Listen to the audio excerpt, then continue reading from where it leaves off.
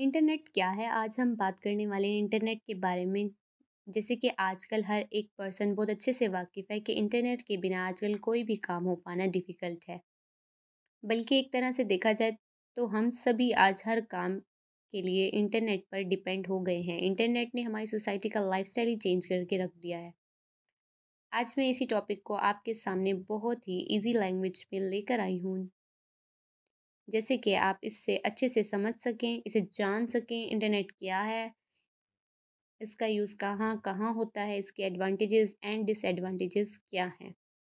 Internet का full form interconnected computer network है। Internet को नेटवर्क ऑफ़ नेटवर्क्स भी कहते हैं। मतलब ये छोटे छोटे नेटवर्क से मिलकर बना है, एक बहुत बड़ा नेटवर्क बना है।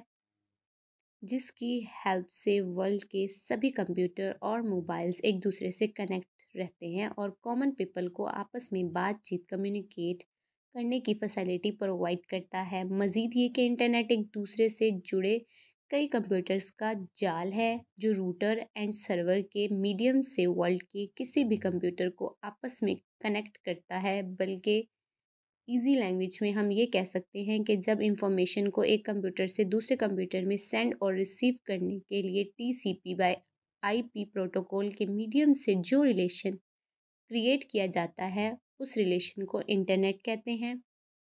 इंटरनेट एक ऐसा सोर्स है जिसका यूज़ करके कोई भी पर्सन किसी दूसरे पर्सन को, चाहे वो कितने ही मीलों दूर क्यों ना हो, उसे इजीली बातचीत कर सकते हैं और उसे ईमेल्स वीडियोस इमेजेस और कोई भी file easily send and receive कर सकते हैं।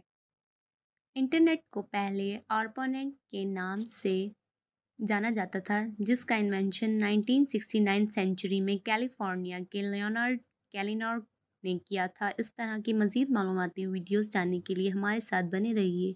Only on you educate online earning and skills training hub